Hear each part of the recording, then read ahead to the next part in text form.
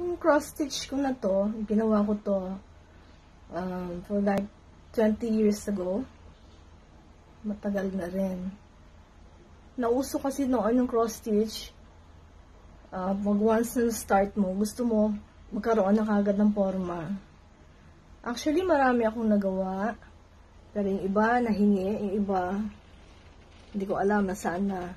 Ito yung ballet dancer. Ito, may baby. Ayan.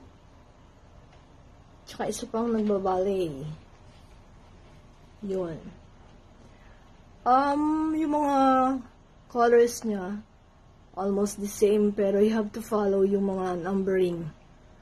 Kasi medyo mahirap. Pinaka-simplest uh, kong nagawa is ito. This is my very first project. Ito. Simple lang siya. Kasi wala pa akong idea. Tsaka wala pa akong ginayang pattern dyan. Ako lang. No?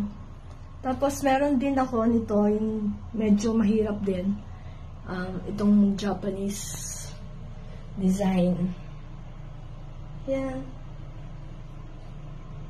Medyo mahirap kasi halos same colors lang lahat. Yun. But then, dahil gusto mong matapos, ginawa mo na lang kagad. Uh, enjoy naman. Actually, I enjoy doing it. Ayan lang. Okay.